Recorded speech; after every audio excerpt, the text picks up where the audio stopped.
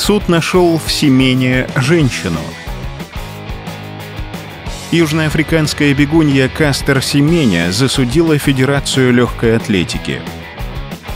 Она через суд добилась отмены требования уменьшать уровень тестостерона в своем организме.